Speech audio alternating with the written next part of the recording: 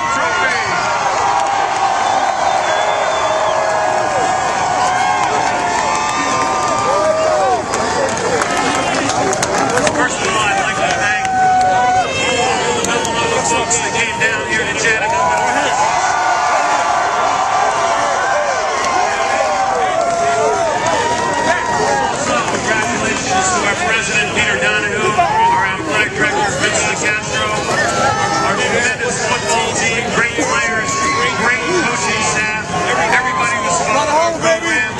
We are, we are one happy group of Wildcats tonight. Thanks so much.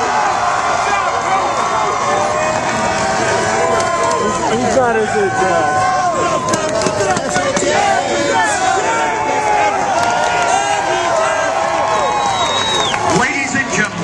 tonight, for the first time, the NCAA present a Division I football championship game most outstanding player to one deserving